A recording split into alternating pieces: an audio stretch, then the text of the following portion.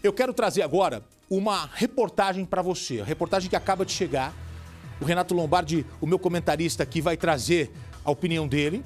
Ladrões em fuga foram perseguidos por policiais da rota por mais de 20 quilômetros. A rodovia é Presidente Dutra. Aconteceu um tiroteio em plena rodovia Presidente Dutra, uma das mais importantes rodovias do país que liga São Paulo ao Rio de Janeiro. Nesse tiroteio, quatro pessoas foram mortas.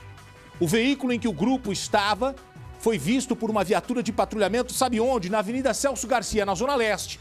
Então eles saem da, da, da Celso Garcia, pegam a Salim Maluf, pegam ali depois a Marginal Tietê e seguem sentido Guarulhos. O mesmo carro teria sido utilizado em outros crimes. A perseguição começou e os suspeitos entraram na Dutra já com armas em punho, abrindo fogo contra a polícia. Você imagina, você está indo para casa ou você está seguindo para o seu trabalho, daqui a pouco você olha bandidos armados atirando, os policiais atrás em alta velocidade. Nós vamos até essa imagem aqui que você está vendo, ó. Aqui é a rodovia Presidente Dutra, no quilômetro 214. Os suspeitos desceram do carro e começaram a atirar no meio da estrada. Ô, Gotino, a imagem tá meio estranha, não? É porque tem quatro corpos lá embaixo, a gente não quer mostrar. A gente não quer explorar a imagem, a gente só quer trazer a notícia para você. Olha só a pista central interditada, os corpos ali, os bandidos desceram e abriram fogo no meio da, da rodovia. Roda a reportagem completa, vamos lá.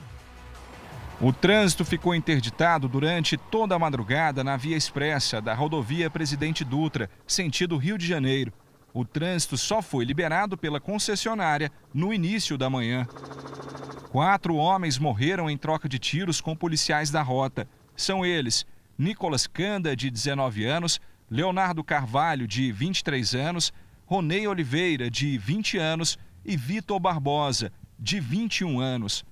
Segundo o depoimento dos policiais que participaram da ação, o veículo em que o grupo estava foi visto por uma viatura em patrulhamento na Avenida Celso Garcia, zona leste de São Paulo. O mesmo carro teria sido identificado em outras ocorrências criminosas. Os policiais tentaram uma abordagem, mas o veículo não teria parado. A perseguição começou e os suspeitos entraram na rodovia Presidente Dutra, sentido Guarulhos. O acompanhamento durou cerca de 21 quilômetros até o trecho 214 da rodovia, quando os suspeitos desceram do carro e começou a troca de tiros. Os quatro homens estavam nesse carro, ano 2015, que está em situação regular. Ele pertence ao Vitor Barbosa. A gente pode ver até ali no para-brisa que tem um adesivo de uma empresa de transporte por aplicativo.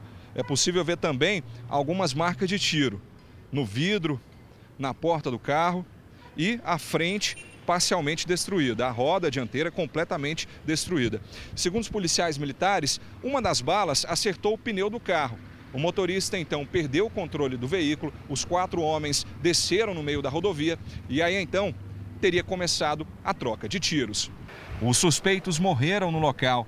Segundo o boletim de ocorrência, no carro foram encontrados uma submetralhadora 9mm, uma espingarda calibre 12, um colete à prova de balas, duas pistolas 380 e dois revólveres calibre 38.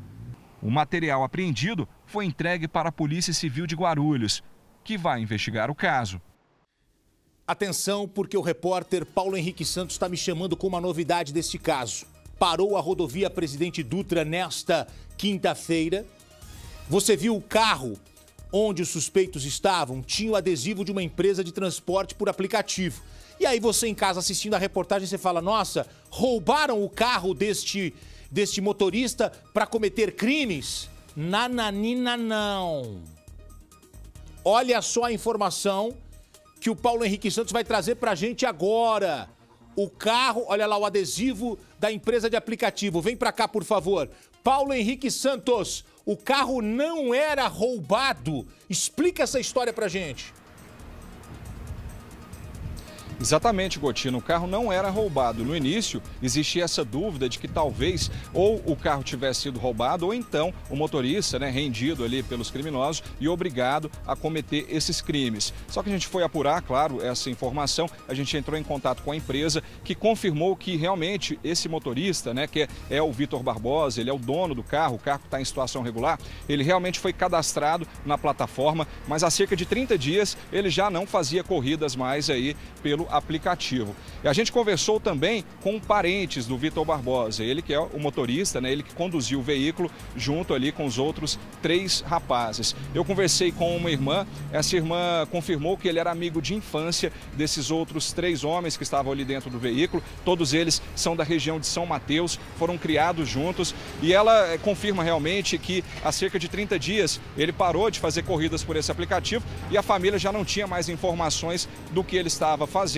e todos, todos eles, né, a mãe e também a irmã, foram pegos de surpresa com essa informação de que ele foi morto, foi morto nesse tiroteio com a rota. Eu conversei com ela, ela pediu para não ser identificada, mas vamos ver. Então, assim, do meu irmão eu não tenho nada para falar, porque ele era uma pessoa reservada, muita pouca palavra, né? A gente morava junto. Eu moro em cima da casa onde ele morava, com meus pais. Ele era solteiro, trabalhava na Uber, fazia advocacia, estava no quarto semestre da advocacia. É, fez Senai também, engenheiro mecatrônico. Era uma pessoa muito reservada, não tinha o que falar, de poucas palavras mesmo. Vocês tinham notícia de algum envolvimento dele com coisa errada? que a gente sabia, tinha conhecimento não, né? Tanto que o local onde o celular dele se encontrava era um pouco distante da minha casa. E a gente não tinha notícia de nada, porque para nós ele estava trabalhando na Uber. Que ele saía de tarde para trabalhar na Uber. A gente não tinha notícia de nada. Vocês não sabiam que ele tinha sido descredenciado, já já não estava trabalhando? Não, não sabia. Porque ele falava pra gente que estava trabalhando, né? E chegava com dinheiro em casa. A gente não sabia. Tá aí. O que a gente percebeu é o seguinte: há 30 dias o Vitor não fazia corrida, mas estava fazendo um corre com os amigos do bairro onde eles nasceram, São Mateus, zona leste de São Paulo. Quer dizer, no mínimo, esse rapaz estava no caminho certo, trabalhando, estudando, mas voltou a ter relações, ligações com esses amigos que estavam no mundo do crime. E não sabemos se ele já estava caminhando com eles há algum tempo ou se os amigos falaram: olha, você tem carro, você não pode levar a gente aqui. E ele entrou nessa e acabou morto também numa intensa troca de tiros que aconteceu em plena rodovia Presidente Dutra Lombardi Fala. Agora, o correto é o seguinte: a partir do instante que a polícia manda parar, para. Se não tem nada com, a história, para. Não, eles foram 21 quilômetros a perseguição. E aí um dos policiais da rota disse o seguinte, para poder parar o carro na Dutra, eles atiraram no pneu. Aí o carro parou. Quando o carro parou, os quatro que estavam no carro desceram atirando. E aí trocou tiro com a rota, já era.